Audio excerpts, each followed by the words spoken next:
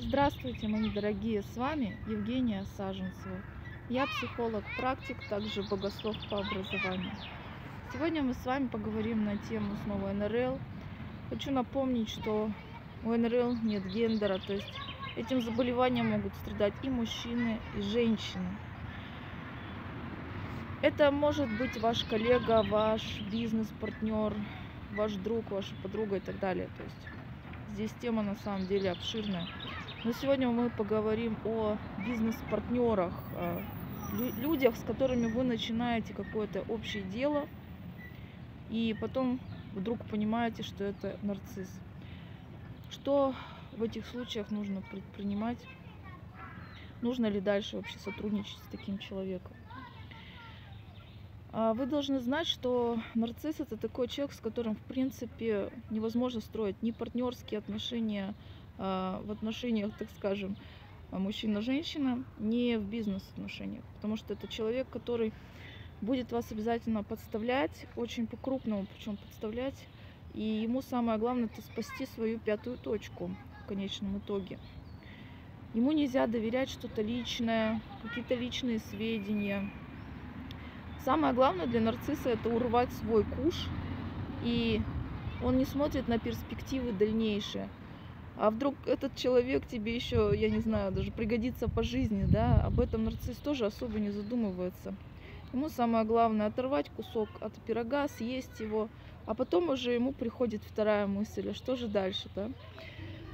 Поэтому какие-то перспективные деловые связи, отношения с нарциссами строить я бы не советовала. Даже если вам кажется, что этот человек очень умный, но этот человек ненадежный. Ко мне нередко приходили люди вот в этом плане, что ну вроде бы сотрудник это хороший, да, но как с ним отношения наладить, зная, что он нарцисс? Я всегда отвечаю одно, не надо с ними налаживать отношения. Не покупайтесь вот на это призрачное, что они как будто бы интеллектуальные. Этот интеллект, он ровно как, как вам кажется, хороший, ровно настолько же он и плохой, что он вас э, по жизни будет реально так э, подставлять, что вы пожалеете, что вообще с ним связались, понимаете? В критической ситуации он будет на вас доносы, например, какие-то делать, э, чтобы лишь бы себя спасти, выбелить. В критической ситуации он будет э, просто убегать, да, и так далее и тому подобное. Что касается, например, какого-то крупного бизнеса, ну, допустим, представим, вкладываете вы одинаковые деньги в бизнес, но по итогу работает, например, один, а второй не является на деловые встречи или ведет себя как-то неправильно, и вы один тянете весь бизнес на себе, на своей спине. И самое ужасное, что это могут быть, например, какие-то сделки, подписанные, так скажем, на годы, да, и вам с этим человеком еще сотрудничать и сотрудничать, а с ним невозможно договориться ни о чем. Потому что с нарциссами невозможно наладить здоровый контакт. Это человек, который будет просто тянуть на себя одеяло, и э, они безответственные. Они не могут э, как бы взять ответственность, потому что у них на самом деле развитие трехлетнего ребенка. В том плане, что ну вот лишь бы для себя все, да, а потом пусть другие за меня работают. То есть еще такая ленивость присутствует, лживость, э, что-то пообещает, например, и не сделает, и так далее и тому подобное.